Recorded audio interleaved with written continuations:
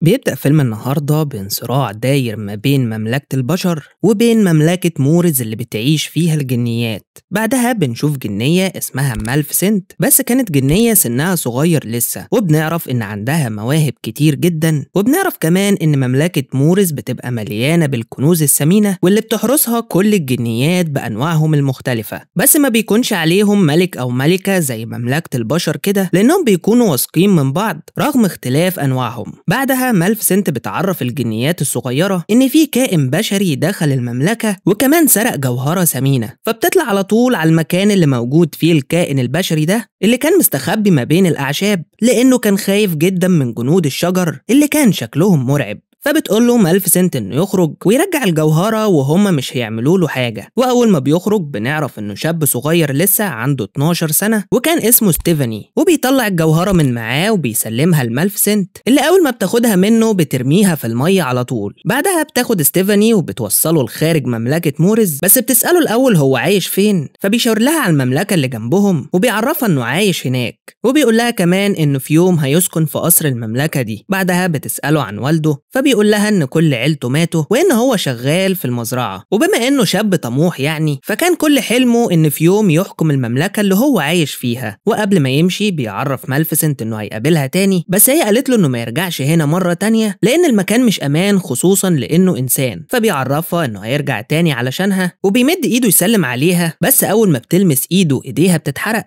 فبتعرفه إن الجنيات بتتحرق من الحديد فبيخلع الخاتم وبيرميه لبعيد علشان يعرفوا يسلموا على بعض. وساعتها مالفسنت بتعجب بتصرفاته جدا وبتفضل طول الليل تفكر فيه وبعد ثلاث أسابيع بيرجع لها مرة تانية وبيفضلوا يقضوا وقت كتير جدا مع بعض وبتبدأ علاقتهم كل يوم تزيد عن اليوم اللي قبله ولما بقى عندهم 16 سنة بيعترف لها ستيفاني إنه بيحبها بس بسبب طموح ستيفاني بيختفي فجأة علشان يدور على أحلامه اللي نفسه يحققها وبتكبر مالفسنت وبتزداد قوتها وبنعرف إنها أقوى جنية في مملكة مورز وبتبقى هي الحامي للمملكة بس في الوقت ده بيقرر البشر إنهم يهجموا على مملكة مورز لأن المملكة دي زي ما قلنا كانت مليانة بالمجوهرات الثمينة وبيقول لهم الملك إنهم يهجموا بكل قوتهم ويخلصوا على كل الجنيات الساحرة اللي في المملكة. بعدها على طول مالفسنت بتعرف إن مملكة البشر هتهجم عليهم فبتوصل للجيش وبتحذر الملك من العواقب اللي هيشوفها. لو قرر بس يهجم على المملكة ساعتها بيؤمر الجنود إنهم يجيبوها ويقطعوا رقبتها بس باقي الجنيات بيظهروا كلهم وأول ما الجيش بيتقدم عليها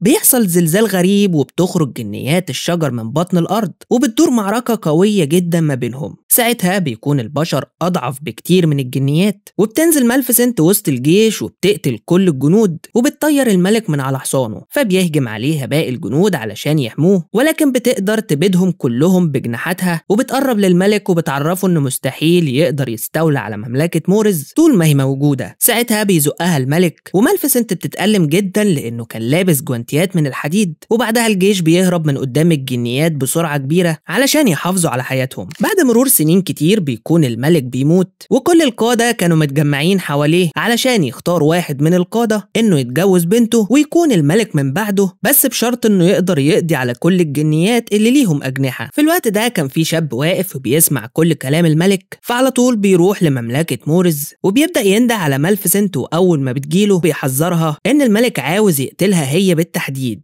وبنعرف إن ده ستيفاني بعد ما كبر وبيقول لها إنها لازم تثق فيه. بعدها بتسامحه على غيابه طول المدة اللي فاتت وبتبدأ علاقتهم ترجع زي الأول وأثناء ما بيكونوا قاعدين مع بعض بيقدم لها المية لأنها حست بالعطش بس أول ما بتشرب بتنام بسرعة لأنه كان حاطط لها فيها مخدر وبيطلع الخنجر بتاعه وهي نايمة علشان يغرزه في ظهرها بس ساعتها بيتردد وبيرميه من إيده فبيقرر بس إنه يكتفي إنه يقطع جناحاتها وأول ما بتصحى من النوم بتحس ساعتها بألم شديد وبتكتشف إن ستيفاني خانها وغدر بيها فبتفضل تبكي وتصرخ من شدة الألم اللي هي فيه. وفي الوقت ده كان ستيفاني سامع صراخها من بعيد بس هو كان أخد جناحاتها وقدمهم للملك وبيعرفه إن هو انتقم ليه. وساعتها بيفهم الملك إنه قتل ستيفاني وبيقول له أنت دلوقتي هتبقى الوريث الشرعي ليا وتقدر كمان إنك تتجوز بنتي. بنشوف بعدها مالفسنت اللي كان باين عليها التعب الشديد وما كانتش قادرة تتحرك نهائي. فبتمسك غصن شجرة من الأرض وبتحوله لعصاية علشان يساعدها في المشي. بعدها بيقف غراب جنب منها فبتنفخ فيه وبتخليه ينزل حقل مزارع. بس بس ساعتها المزارع بيقدر يقبض عليه وكان عاوز يقتله بس بتأمر الغراب إنه يتحول لبني آدم وساعتها المزارع بيفتكره شيطان وبيسيب له المكان وبيهرب وبيسأل مالفيسنت ليه غيرت شكله الجميل من غراب لشكل إنسان فبتعرفه إنها عملت كده لإنها خافت إن المزارع يقتله وبتقنعه بقى إنها أنقذت حياته فبيقول لها بما إنك انقذتي حياتي فأنا في خدمتك طول الوقت وساعتها بتقول له إنه هيبقى جناحاتها اللي مش موجودين وبنعرف إن كان عنده القدرة إنه يتحول من إنسان لغراب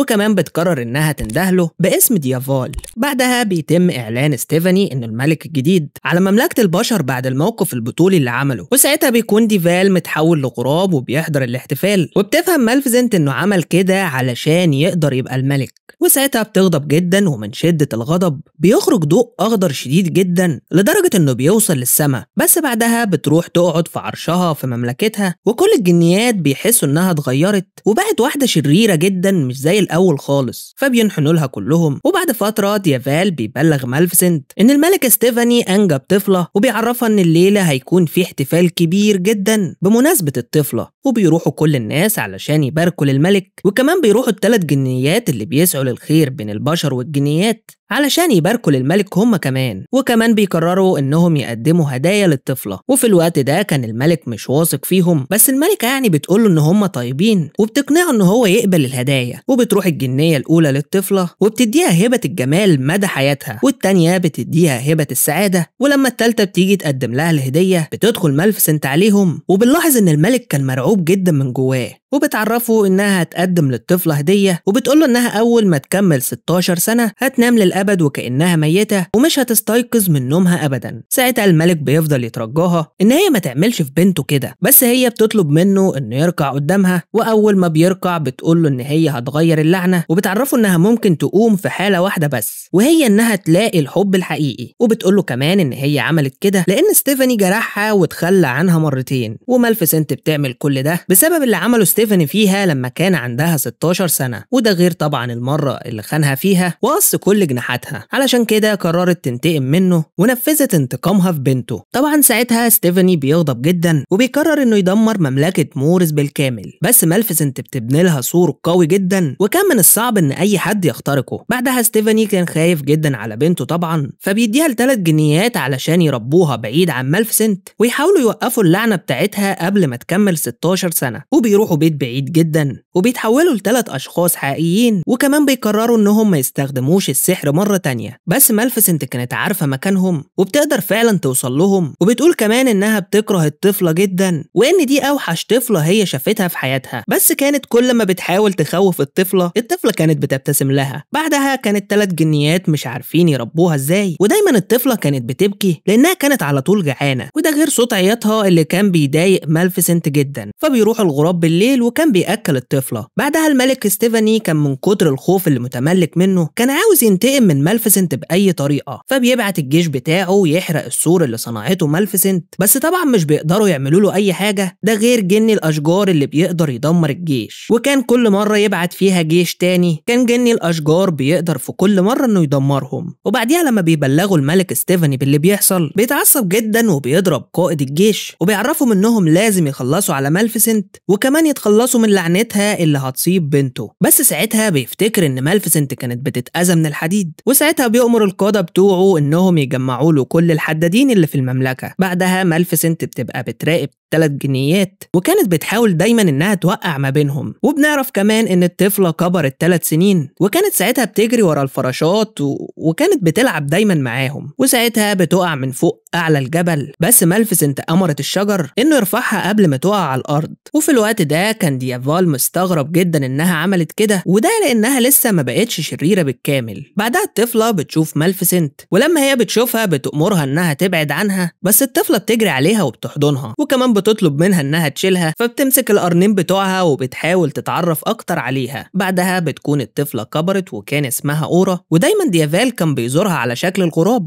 وكان بيلعب معاها على طول. وبتكبر الطفلة أكتر وأكتر وكانت طفلة فضولية جدا وكانت دايما عاوزة تعرف إيه اللي ورا الجدار العملاق ده. وفي مرة بتقرب منه وبتحاول تلمسه بس ساعتها بيشوفها الجنود اللي بتراقب السور. بس ساعتها بيفتكروها فلاحة بسيطة وكمان مالفيسنت كانت بتراقبها. وبتأمر ديافال إنه يجيب بتراقبها بس بتحوله لذئب عملاق علشان يهجم على جنود ستيفاني قبل ما يعملوا لها حاجة وبعدها بتخدرها مالفيسنت وبترجع للجنود وبتخلص عليهم كلهم وبترفعهم في الجو وبترميهم لبعيد. وبعدها بتاخدها وبتدخلها جوه مملكتها مرة تانية. بس أول ما بتصحى كانت مبسوطة جدا من المنظر اللي بتشوفه ومالفيسنت كانت برضه لسه بتراقبها. وساعتها أورا بتقول لها إنها تخرج من مكانها وما تخافش منها يعني. فساعتها بتضحك مالفيسنت وبتعرفها إن هي لو خرجت لها هي اللي هتبقى خايفة. وبتشوفها أورا وبتقول لها إن هي تعرفها كويس. فبتستغرب مالفيسنت وبتسألها إزاي تعرفها. قالت لها إن هي دايما كانت بتشوف الظل بتاعها. بعدها أورا كانت مبسوطة جدا لأنها في مملكة الجنيات. ولما بتقرب من مالفيسنت بترجع تخدرها تاني لأنها كانت شايفاها وحش صغير. وتاني يوم مالفيسنت بتاخد أورا وبتعرفها على كل الجنيات اللي في المكان. وبتبدأ بقى تنشأ بينهم علاقة قوية وكانوا كل شوية بيقربوا من بعض أكتر. وبعدها لما بتنام أورا بتروح لها مالفيسنت وأثناء نومها بتقرر تسحب منها اللعنة. ولما بتؤمر اللعنة إنها تنسحب منها مش بترضى تخرج وبيجي لها صوت في ودنها. بتفكرها بالأمر اللي قالته يوم ما لعنتها وأمرت إن مفيش قوة في العالم تقدر تشيل اللعنة وساعتها بتتضايق مالفيسنت وبتزعل وندمت يعني إن هي قالت حاجة زي كده. ولما بيجي تاني يوم بتسألها أورا ليه ما عندهاش أجنحة زي باقي الجنيات فبتعرفها إن كان ليها جناحين زمان بس في يوم حد سرقهم منها وسابها ومشى وبنشوف بعدها أورا وكانت بتتعرف على باقي المخلوقات فبتنده عليها مالفيسنت وبتقول لها أنا عاوزة أعرفك حاجة مهمة وهي إن العالم كله شرير وإن في أمور ممكن تحصل لها محدش هيقدر يمنعها عنها. ساعتها أورا بتعرفها إنها قربت تكمل 16 سنة وإنها يعني تقدر تعتمد على نفسها وكمان قررت إنها أول ما تتم 16 البشر هتعرف التلات جنيات اللي بيربوها إنها هتعيش في مملكة الجنيات طول حياتها وساعتها مالفيسنت بتعرفها إنها ممكن تعيش من دلوقتي لو حابة وساعتها بتفرح أورا جدا وبتقرر إنها تروح تبلغ التلات جنيات إن هي خلاص هتعيش في المملكة. بس وأثناء ما هي في الطريق بتقابل شاب جميل كده اسمه فليب وكان في الوقت ده تايه وبيسألها عن القصر الملكي فبتوصف له الطريق وبعدها بيبتدوا يتعرفوا على بعض وبيعجبوا ببعض هما الاتنين من أول نظرة. وفي الوقت ده كانت مالفيسنت بتراقبها هي وديافال وبيقول لها إن دي فرصتها الوحيدة علشان يكسروا اللعنة. فبتقول له مالفيسنت إن مفيش حب حقيقي. فبيقول لها ده بالنسبة لك انتي وعامة ده ممكن يكون الأمل الوحيد اللي هيكسر اللعنة اللي هي فيها. وبعد شوية بتوصل أورا للتلات جنيات وبتعرفهم إن بكرة هتكمل 16 سنة. وساعتها بيفرحوا جدا بالخبر ده وبيعملوا لها تورتاية كده بس هي بتعرفهم إن هي هتسيب البيت علشان قررت تعيش في مملكة الجنيات. وساعتها بيتصدموا هما التلاتة وبتتعصب واحدة منهم وبتقول لها إنها ما تفضلش تقضي 16 سنة هنا وهتمشي في آخر يوم قبل ما ترجعها لوالدها. وساعتها بتستغرب أورا لأنها بتكتشف إنها عندها أب وطول ال 16 سنة اللي فاتوا ما كانتش تعرف عنه حاجة. وساعتها بيقرر التلات جنيات إن هما يحكوا لها كل حاجة وعرفوها كمان اللعنة اللي هي اتصابت بيها. فبتروح لمالفيسنت وبتقول لها إن هي عرفت كل حاجة عن اللي عملته فيها بس بتحاول مالفيسنت إن هي تعتذر لها بس أورا كانت متضايقة منها وبتبعدها عنها وبتسيبها وبتمشي. بعدها بتروح أورا للقصر بتاع والدها وأول ما بتقف قدام باباها بتقول له إن هي بنته وأول ما بيدقق فيها بيقدر فعلا يتعرف عليها لأنها كانت شبه مامتها. بس الملك بيتعصب جدا إن الجنيات رجعوها قبل ميعادها فبيأمر جنوده إن هم يحبسوها في الأوضة بتاعتها لحد ما تكمل ال 16 سنة. بس المشكلة إن الأوان كان فات واللعنة بدأت تشتغل. ساعتها مالفيسنت بتجيب فيليب وبتخدره وبتحاول تدخله جوه القصر علشان هيكون هو الحب الصادق اللي هيخرج أورا من لعنتها. فبيعرفها ديافال إنهم لو دخلوه جوه مستحيل يخرجوا منها عايشين. ساعتها مالفيسنت بتقوله إنه يقدر يمشي ويسيبها لأن القصة دي مش قصته بس هو بيرفض إنه يمشي وبيدخله فعلا فيليب للقصر وبيقرر يساعد مالفيسنت في اللي هي عاوزة تعمله. وبيدخله فيليب للقصر وبتخليه فوق والجنيات التلاتة بيشوفوه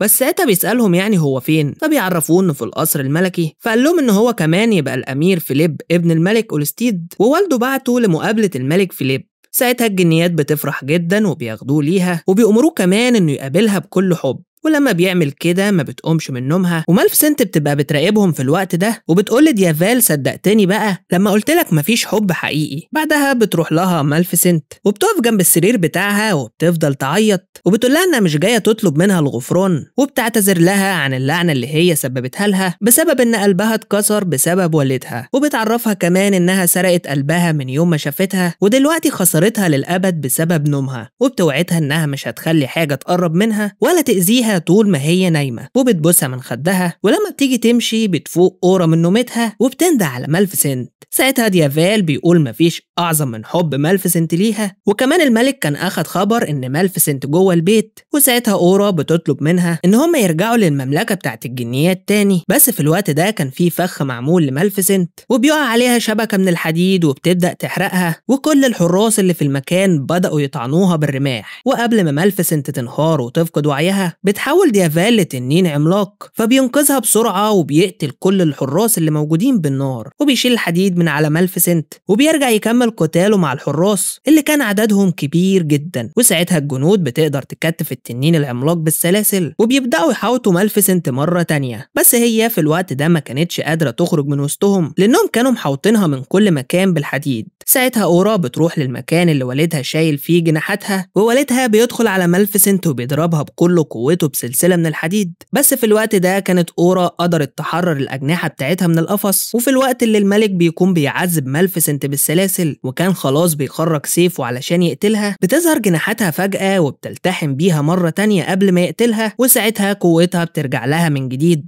فبيأمرهم الملك إنهم يقتلوها بسرعة بس هي بتطير وبتحرر التنين بأقصى سرعتها. ساعتها الملك بيرمي السلسلة عليها وبتمسك في رجلها بس هي بتحاول تهرب لخارج المكان فبتكسر الشباك وبيفضل هو متعلق في السلسلة وساعتها بتطير بيه وبينزلوا من أعلى برج في القلعة وبتقول إن كل حاجة انتهت وبتسيبه وبتمشي بس هو كان بيحاول يخنقها من ظهرها فبتنط من فوق القلعة وهو متشعلق فيها بس ساعتها بيقع وهي مش بتقدر تنقذه وبيموت. بعد شوية بنشوف مالفيسنت مع أورا وكانت بتزيل السور اللي عملته على المملكة بتاعتها وبتوري أورا شكل المدينة قبل ما تتسرق جناحاتها وكمان بعدها بتخليها هي الملكة الجديدة لمدينة مورز وكل الجنيات في الوقت ده بيرحبوا بيها جدا. وكده نكون وصلنا لنهاية الجزء الأول من فيلم النهاردة. لو عجبكم الملخص وعاوزين الجزء التاني اكتبوا لنا في الكومنتات. وكالعادة ما تنساش تعمل like للفيديو وتشترك في القناة لو أول مرة تشوفنا علشان يوصلك كل جديد. أشوفكم الفيلم الجاي. سلام.